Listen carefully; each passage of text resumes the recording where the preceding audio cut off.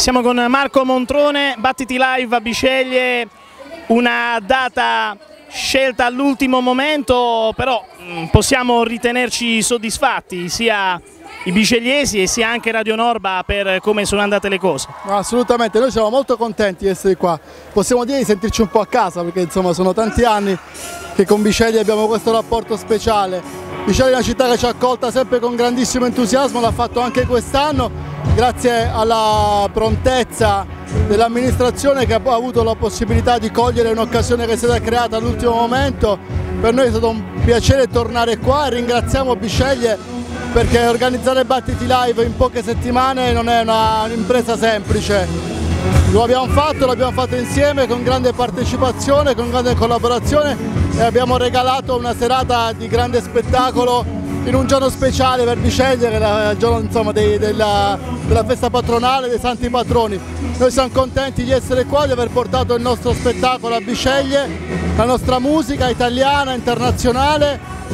e da quello che vedo Biceglie ha risposto nel migliore dei modi.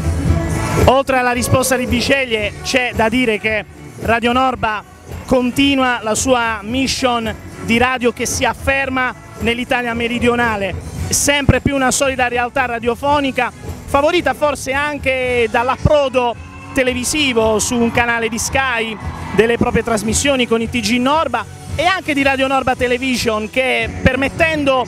adesso al pubblico di guardare chi va in onda e chi di solito era invece conosciuto soltanto per voce, comunque contribuisce a un contatto più diretto. Assolutamente, noi siamo molto molto contenti, abbiamo chiuso l'anno l'anno passato con un 24% di incremento e con orgoglio posso dire che siamo la radio italiana che è cresciuta di più sull'anno. Questo risultato l'abbiamo ottenuto anche grazie a Radio Norba Television senza dubbio che ha completato la nostra offerta. Adesso abbiamo una radio e una tv che viaggiano in parallelo